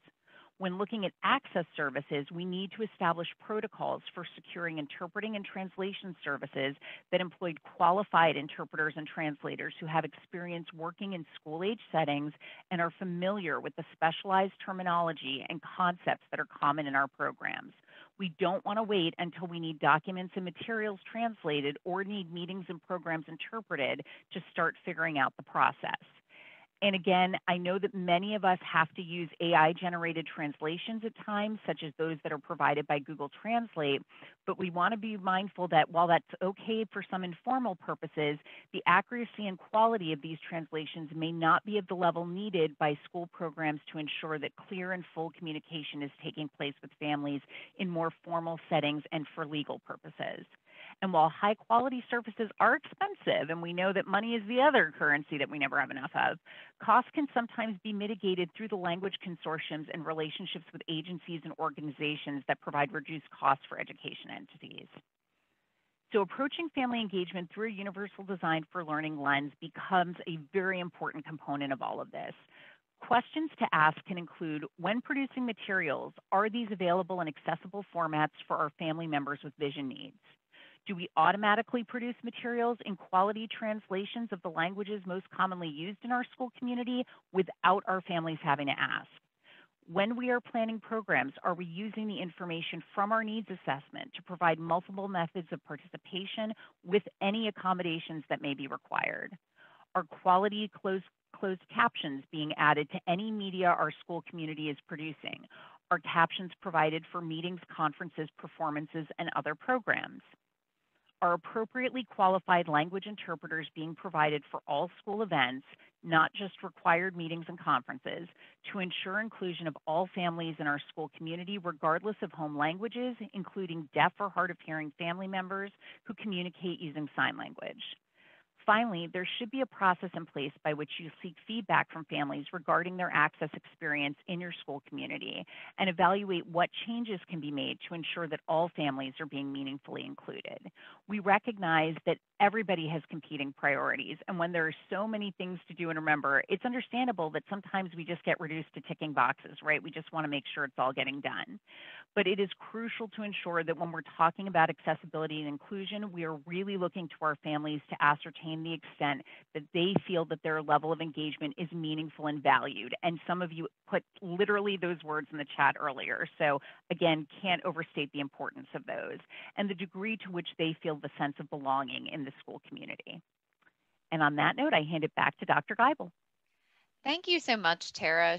Tara has such wonderful viewpoints on family engagement from so many different lenses. I just love listening to her talk.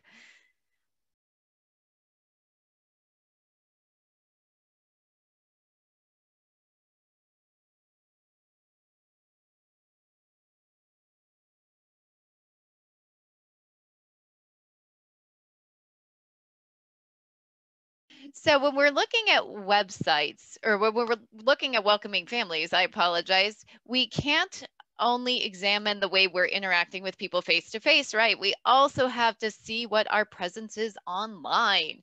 So, our school website might be that first means of communication that is encountered by any families, either within our school or who are potentially hoping to become members of our school community. As such, we really need to look at our website and ensure that it is welcoming all of our families. So, when we are looking at the website, we want to seek to engage families from the very first view of the homepage. And one of the things that we should have included within that first view is the school's vision and mission, vision and mission, or any priority goals that you might have as a school community, right? So when we are looking at that, we want to ensure that our our website, that first page is visually appealing, it's user friendly, um, it's easy to navigate. It puts what's most important on the page, our priorities. It expresses, you know, the goals that we want to be achieving within our school. Um, we also want to ensure that our website demonstrates a commitment to family engagement. So it should do this overtly, by speaking about family engagement, about the importance of partnerships between home and school. But we can also um, think of it as as our commitment to family engagement again making it an easily accessible website because as tara was saying you know there's nothing more frustrating than looking for the contact information for your parents teacher or for your child's teacher and not being able to locate that and that's true that's where our website can help us right by providing the most updated information we can also include a parent or family page, depending on the verbiage used within your, your LEA. We encourage the use of family since, as we said earlier, all families are different. Um, is there a page that we could really make um, pertinent to families, provide them with information that they really need to know? We also want to follow a policy of easy navigability by thinking about how many clicks the family would need to access information. So one easy rule of thumb is three clicks. If we can access something in three clicks, so maybe that's three different pages, um, maybe it's two pages and it connects to another resource, um, that is much easier for families to navigate than if they have to go through a large series of clicks and progress through a large number of pages. We also want to make sure in our website that we are portraying a variety of students and a variety of educational activities in order to reflect the diversity of our school population. Really important. Our website should be demonstrative of everything that we do and everyone that we serve. We also want to ensure, and this is piggybacking on what Tara said, so, so important, that we are complying with the ADA, the Americans with Disabilities Act, for accessibility. So we need to make sure our website is accessible by individuals who are blind and deaf and who navigate the page using a screen reader or other assistive technology. So luckily, we as school administrators typically don't have to create the website, right? Uh, that's usually not our job. Maybe that's our IT department. Maybe that's someone that we contract from outside, but it is our job to set policies to maintain that site. So we're going to move forward to the next slide. When we are serving in that capacity that we are working on website maintenance, um, we need to ensure communication with our web designer and to do so regularly. So you might be working under a lot of different um, different website uh, designers or the people who supply your website might be different. It might be through an organization, it might be a separate contractor. This all looks quite differently. But what you want to do as an administrator is to establish a regular pattern of communication with that designer. Um, we need to make sure that we have their information and can contact them in order to uh, express any concerns we have with the website. We also want to collect and analyze website data, which can usually be done through the analytics within a site. We want to identify staff this content and update it. Emphasize easy access and search engine optimization. That is a whole phrase, search engine optimization. So make sure you talk about that. Um, it's how we get from place to place. Include comments and testimonials. So the real uh, meat of what we're doing. And we want to be able to connect to other networks and social media sites. So build connections within our site. And moving forward. Um, we also want to make sure we're empowering our families. So we realize we only have a few minutes left, but this is an important topic. Families should have a, a say in what they want to see for their children in education, what they want to see for the website, how they want to communicate. Survey your families about relevant topics. Inform them about the topics that are relevant to them as well. So make sure they are able to make an informed opinion. Include family members in all decision making teams. This is important. Otherwise, it can really get you into some hot water if you haven't let families have their voice. Um, they have great ideas. Establish focus groups, family advisory teams, family networks, parent cafes, whatever you need to do to get that conversation flowing. And then meaningfully engage your families in academic and special education discussions. When we engage families in decision making, our first step needs to make to be that our staff is ready to work with them. so make sure that your staff is prepared to include families in all decision making. Value families as those partners and institute family inclusion and decision making at every level. So whether it's classroom, school-wide, district, looking at special education, regular education, the goals and priorities of your of your school and community, um, and use team meetings as an opportunity to determine strategies that are going to work for you as an LEA.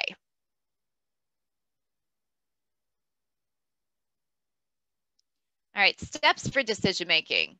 First of all, we need to prepare our students and families, inform them of what they need to know. If we're in a meeting, we have to orient the meeting to that purpose and process. So we don't want to, you know, let it flow off in a different direction. We need to have a purpose.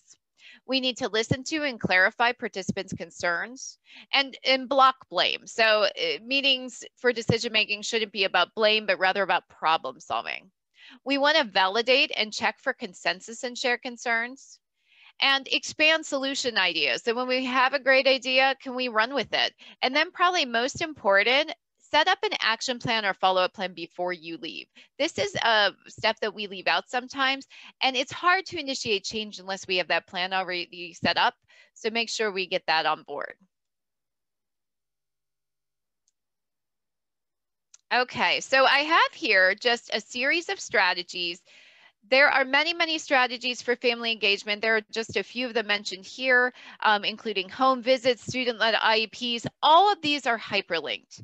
We've talked about how important it is to include families in decision-making.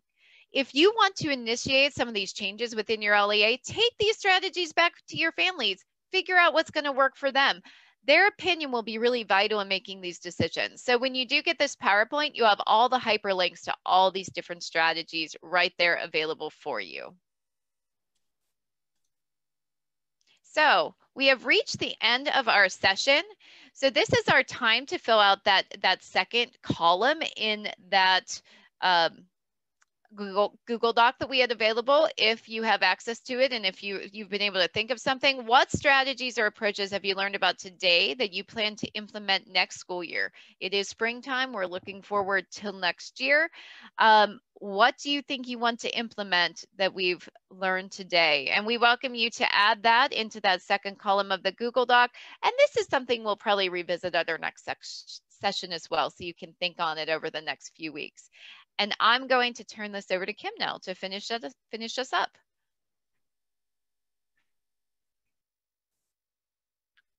Thank you, Jennifer. I just want to share now the last slide. This is for Act 40 hour, Act 48 credit hours. Um, the survey link will be open until 5 p.m. on April 16th. You can access it at this link here. And if someone would please put that in the chat for me and or use the, um, the QR code on the screen uh, for easy access. Again, we need you to um, complete that if you're looking to receive any credit for attending this session. So thank you so very much for joining us. Um, you have been very um, engaged the, and we appreciate all your participation as we've been going through the slides. Um, and you can reach out to um, any one of us on the family engagement team um, for any further questions or comments, or if you have um, individual family engagement needs that you'd like um, us to help you with, we're more than happy to assist you. And all you need to do is reach out to us. So I'm going to leave this um, the code up for a second, and then I will switch to the very last slide, which is our uh, contains our email addresses. So again, thank you for your participation, and we hope you're able to join us um, on day two or part two of the of this training, which I believe is on May the 3rd. Thank you. And Kim, we did have a couple people asking how we get the slides. Did you want to talk about that real quick? Certainly. Um, the slides will be available in a handout um, on the PaTTAN. The, the session was recorded, so the recording will be available and all handouts on the family engagement page of the PaTTAN website. So if, again, if you have further questions, please don't hesitate to contact any of us, um, any of the family engagement consultants listed on this slide or the other consultants um, who work in each of the offices.